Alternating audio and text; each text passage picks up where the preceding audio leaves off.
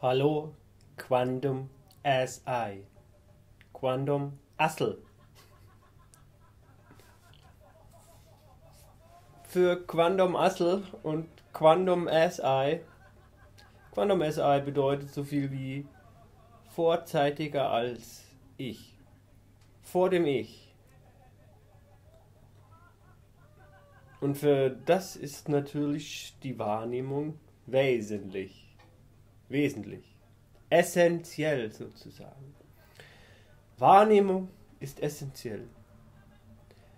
Ich habe mich mal gefragt, wer bin ich denn ohne Wahrnehmung? Wer bin ich ohne Wahrnehmung?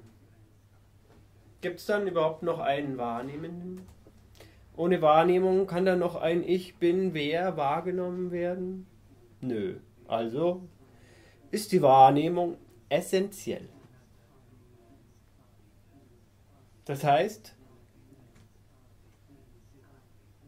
die Wahrnehmung ist da, um den Wahrnehmenden und das, was der Wahrnehmende wieder wahrzunehmen glaubt, wahrzunehmen. Also ist die Wahrnehmung schon vor dem Wahrgenommenen das, was sie ist. Einfach Wahrnehmung. Nicht mal einfach. Da braucht es kein Fach dazu. Nicht einfach ist nötig für die Wahrnehmung.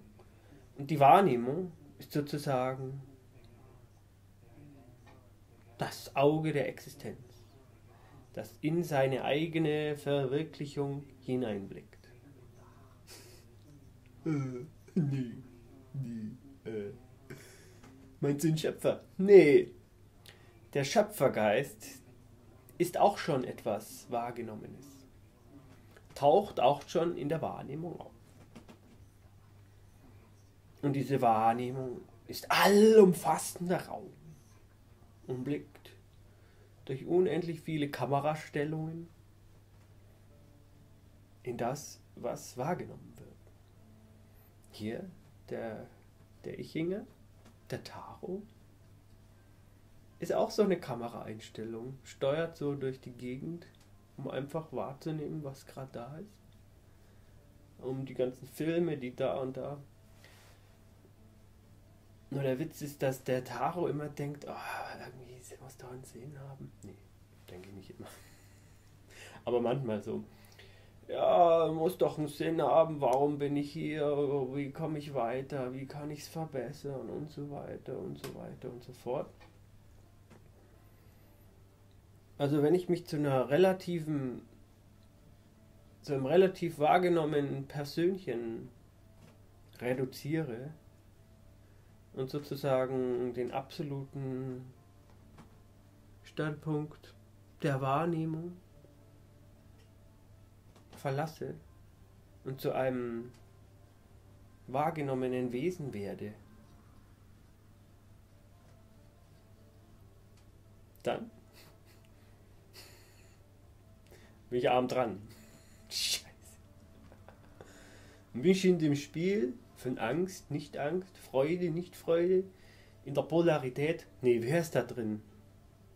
Das ist wieder falsch. Da bin ich ja gar nicht drin taucht ja nur wieder auf in der Wahrnehmung, die Idee, dass jemand drin wäre in, in dem Spiel von Gut und Böse, von Dualität, Nicht-Dualität. Oh.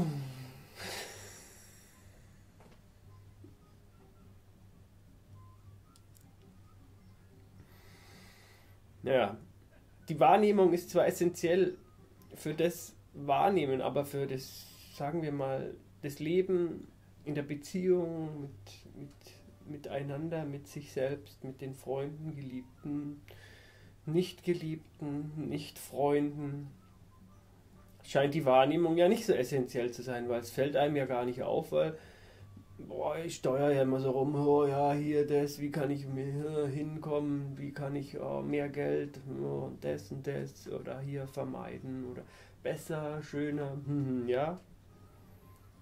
Aber es ist mal ganz interessant, die Wahrnehmung auf die Wahrnehmung, die Aufmerksamkeit auf die Wahrnehmung zu richten, dass die einfach da ist, keinen Sinn braucht in dem vielleicht der absolute Sinn, dass alles so sein kann, wie es ist, auftaucht, aber der relative Sinn, dass ich irgendwie einen Sinn brauche, um da zu sein, einfach nur ein kosmischer Witz ist. Hahaha. Ha, ha. Kann ich mich alle totlachen? Oder? Nee, ich will nicht sterben. Ich glaube ich bestimmt nicht tot über den Witz, den, den, den, den, den Witz da. Nee, den verstehe ich ja eh nicht, den Witz. Gar kein guter Witz.